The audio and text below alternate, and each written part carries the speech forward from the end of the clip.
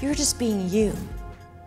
And that is attracting those collaborations.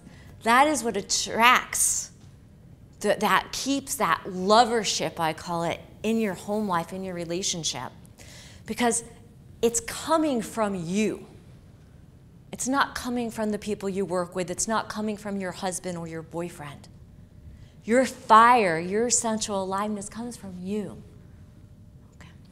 So, I'm going to share a story. So, I had a client who, she, she was just, you know, she had this amazing relationship. And they were, they were 20 years together. Beautiful child, happy. And their challenge was that she was a top business success coach you know, six figure coach. And she was noticing when she got home at night, it was like two ships passing in the night. And they loved each other. They had great communication, they had a great relationship. But what she missed was that sensual, sexy, sexual, spiritually rich connection. Because sexuality is part of who we are. And what I like to say is that, you know, leave the sacks over here. And it's time to come to that place of being spiritually penetrated, which is where that spirituality comes into your connections. And so she was missing this and longing for this.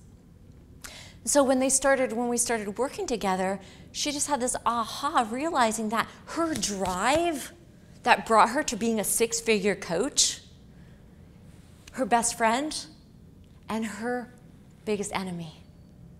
Because most people, that's what happens. It's what sometimes makes us so successful. Yet then there's a glitch in the system. Because then it actually disconnected her from that feminine, hot, juicy place. So when she started realizing this, it was for her, she had this need of being in control.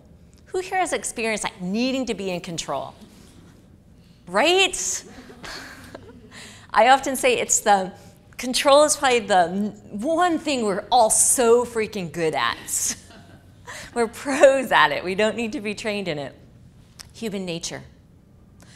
We lack trust. We might feel that we're not going to be taken care of. We have to, again, make it happen. And so she recognized these controlling principles.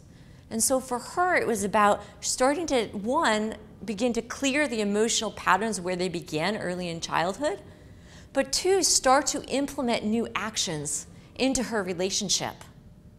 Learning how to give up control and trust her husband to take care of that, whether it was where they were going to dinner, what they were doing on their date.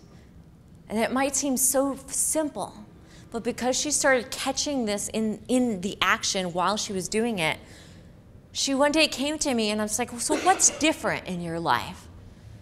She's like, Wow. She started thinking about it and she's just like, It's like we're courting each other again. There's this joy and, and this, we go to bed at the same time now and we cuddle